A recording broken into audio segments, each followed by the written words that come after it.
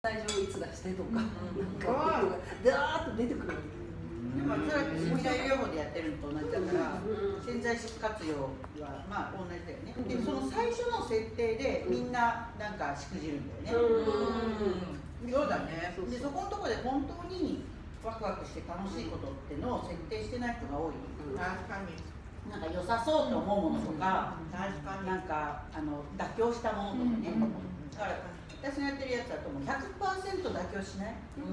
もうどこにも1ミリも妥協しない。だってこれあのなんだっけ何さんとこも言っててもう中途半端いらいりませんみたいなこと言ってるから。だからあのンクさんでそのパートナーが欲しいんだけどで最初素敵な人とワクワクデートするみたいな未来を描いたらやっぱりこれって恋人で私結婚だとイメージが違うって言うんですよ。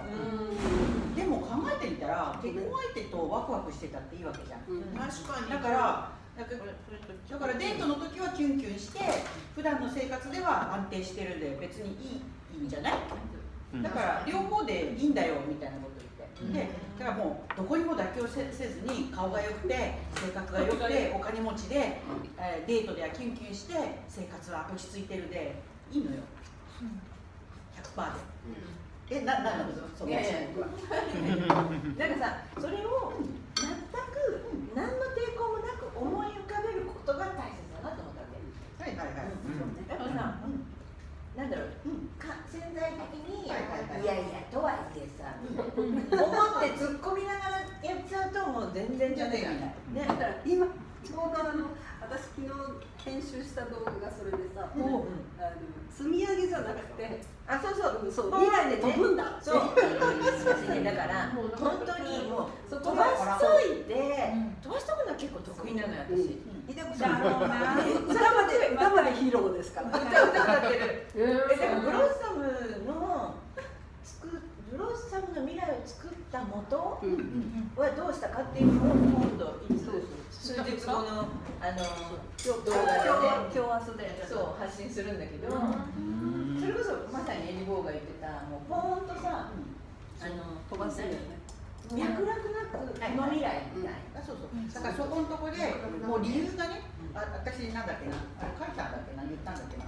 あのあそうだ書いたんだよねメルマガにね。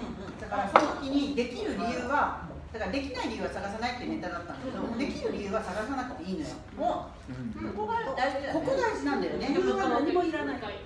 だからできない理由を探さない。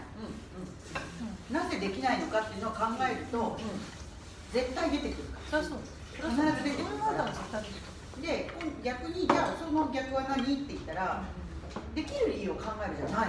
ここがミソだよね。そうそう。なぜかっていうとこれねあそうメルマガにはあのあの思想像もつかなかった理由で叶うこともあるからって書いたけど実は私これ人に聞いたことがあって想像を絶する形で叶うから。あそう想像だってさメリボーのさ東京のシェアハウスっていうか東京の拠点代1万円っていうのはあれは想像を絶するよね。想像ですななんかこうやればこうなるこうやればこうなるっていうのもう悪くないけど、うん。悪くないけど弱いんだよね、うんうんうん本当に強力な方法は想像を絶する形で来るから大事なのは結果だけ決めるっていうのはこれはねあそうそうなんだよね朝子さん。ー結果を決めてそこに向かってイメージしながらただ目の前のことを行動する。あと目の前のこと。あとはね設定すると途中が分かったりするの。